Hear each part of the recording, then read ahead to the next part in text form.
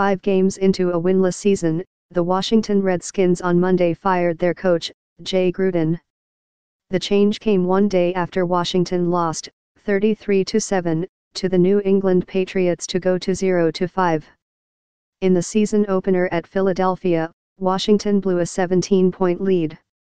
In Week 3, fans booed as the team fell behind by 28-0 to Chicago and quarterback Case Keenum committed five turnovers. Week 4 brought a 24-3 defeat to the division rival Giants. On Sunday, the stands in Washington were full of Patriots fans, in another indignity. Washington seems to specialize in tumultuous seasons.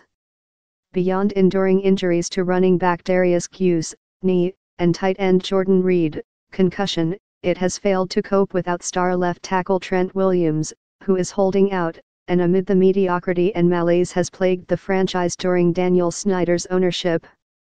Washington will be searching for its ninth coach since 1999, when Snyder purchased the team. Washington has made the playoffs just five times across in those 20 full seasons and has not won a postseason game since the 2005 season. Through the first five games of the 2019 season, the team has clearly not performed up to expectations, and we all share in that responsibility, the team said in a statement. Moving forward, we are committed to doing all that we can collectively as an organization to turn things around and give our Redskins fans and alumni a team they can be proud of in 2019 and beyond.